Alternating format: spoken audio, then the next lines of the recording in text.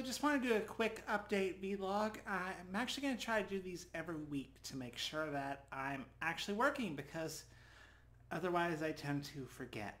So yes, I'm going to be doing these very short update vlogs. Um, so what am I working on right now? Right now I'm working on my next analysis video, which is going to be on Final Fantasy XIV Shadowbringers. Uh, I just finished that, and I have some things to say about it, because I think it has some things to say. Um, after that, uh, me and Sark are going to be working really hard on getting what we have from I Ate a Bee edited. Uh, currently, 133 and 134 are very close to being finished, but we're going to try to make sure we have all of what we have edited first before we start really producing it again. So um, Debbie is coming back.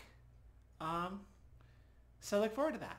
Uh, other than that, I uh, have a voice acting project that I'm working on. Um, don't want to spoil too much. Hope it might, because it might never even get off the ground. But if it does, uh, I might be doing an abridged series, or at least acting in one. Amy.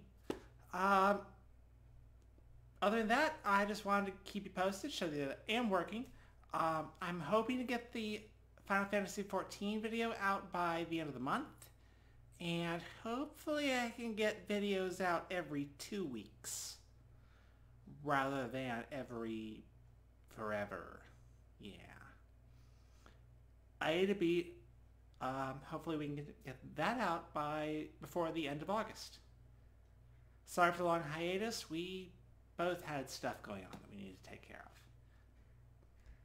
And anyway, thank you for watching and thank you for, you know, staying loyal to me. Like, share, subscribe, or don't. Whatever.